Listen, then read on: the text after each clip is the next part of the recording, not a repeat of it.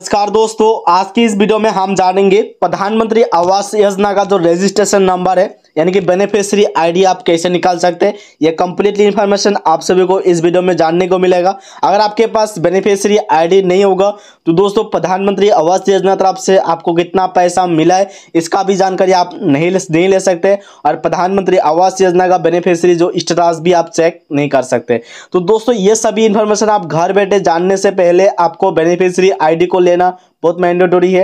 यानी कि आईडी को पता करना बहुत मैंडेटोरी है। तो दोस्तों, ये सभी इन्फॉर्मेशन आपसे कोई ए टू जेड बताने वाला हूँ। अगर आपके पास कुछ भी नहीं है, उसके बाद भी आप घर बैठे सिर्फ़ मोबाइल फ़ोन से आवास योजना का जो बेनिफिशियरी आईडी है, निकाल सकते हैं।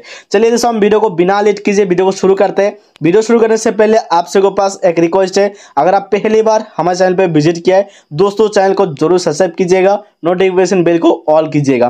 तो दोस्तों, सबसे पहले आप मोबाइल फ़ोन से कोई भी इंटरनेट ब्राउज़र को ओपन कर लीजिएगा। इंटरनेट ब्राउज़र ओपन करने के बाद ये जो चार्ज बार में आप चार्ज कर दीजिएगा P M A Y G दोस्तों, ये चार्ज करने के बाद आपके सामने ये पेज ओपन होगा, जिसमें आपको सबसे पहला जो लिंक मिलेगा, इसी पर क्लिक करना होगा, प्रधानमंत्री आवास योजना ग्रामीण। दोस्तों, ये ऑफिशियली वेबसाइट का लिंक मैं कोशिश करूँगा वीडियो का डिस्क्रिप्शन बॉक्स में दे देने के लिए। तो दोस्तों, उस पर क्लिक करके आप डायरेक्ट ये ऑफिशियली वेबसाइट पर आ सकते हैं। दोस्तों ऑफिशियली वेबसाइट पर आने के बाद इसमें जो सबसे पहला देखने को मिलेगा, देखिए, इसमें जो भी लिखा होगा, आप ध्यान दीजिएगा। दोस्तों बेनिफिशियरी आईडी यानी दोस्तों रजिस्ट्रेशन आईडी निकालने से पहले आपको बेनिफिशियरीज का लिस्ट निकालना होगा। तो दोस्तों, हम ए टू जेड इन्फॉर्मेशन आप आप सभी को देने वाले हैं। तो जिसके लिए आपको क्या करना होगा, ये जो आवाज़ सॉफ्ट करके लिखा हो रहा है, ये आवाज़ सॉफ्ट में आप क्लिक कर दीजिएगा।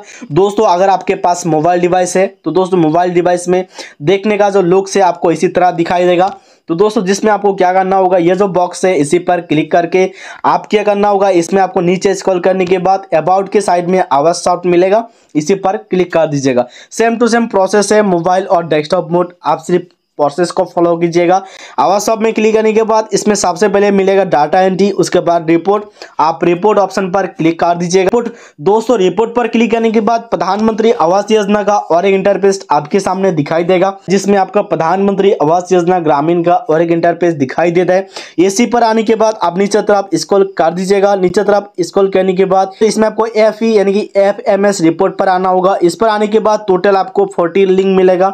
तो दोस्तों, इस पर आपको एक से लेके जो तीन नंबर का ऑप्शन लिखाई दे रहा है। Beneficiary registered frozen and verified उसी पे आप क्लिक कर दीजिएगा।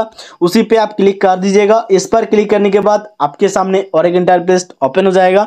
जिसमें आपको जो P M A Y G already select होगा। प्रधानमंत्री आवास योजना ऑलरेडी सेलेक्ट होगा। आप इसमें ऑल स्टेट के जगह आपका जो भी स्टेट है, आप इसमें सेलेक्ट कर लीजिएगा। ऑल स्टेट में क्लिक करके, यानी कि राज्यों को सेलेक्ट करने के बाद, उसके बाद आपका इसमें जो भी डिस्ट्रिक्ट है, यानी कि जो भी ज़िले आपका है, ज़िले को आप इसमें सेलेक्ट कर लीजिएगा। उसके बाद आपको इसमें ब्लॉक सेलेक्ट करना होगा, यानी कि खंडों को सेलेक्ट करना होगा। उसके बाद इसमें आपको पंचायत को सिलेक्ट करना होगा, जब भी पंचायत ब्लॉक आपका सिलेक्ट कर लीजिएगा। उसके बाद बाद इसमें आपको जो भी कैप्सा दिखाई देगा कैलकुलेट करके सही आंसर आप इसमें देना होगा। जैसे कि देखिए, मुझे ट्वेंटी थ्री प्लस फोर्टी है तो दोस्तों प्लस होगा तो प्लस माइनस होगा तो माइनस जो भी मिलेगा आप सही से इसमें डाल दीजिएगा।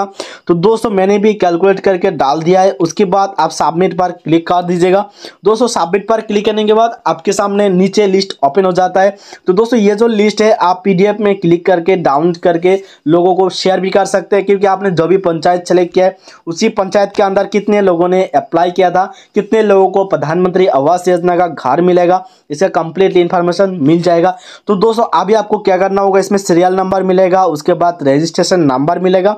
बेनिफिशियरीज इसका नहीं मिलेगा। तो दोस्तों, मैंने पहले से बता दिया है कि रजिस्ट्रेशन नंबर आप कैसे निकाल सकते हैं। तो दोस्तों, सबसे पहले आपको क्या करना होगा, इस पर आने के बाद आपको नाम को निकालना होगा। जैसे कि देखिए, इसमें आपने जो भी पंचायत सेलेक्ट किया है, उसी पंचायत के अंदर जितना भी लोग होगा, सभी लोगों का नाम इस पर मिल जाएगा।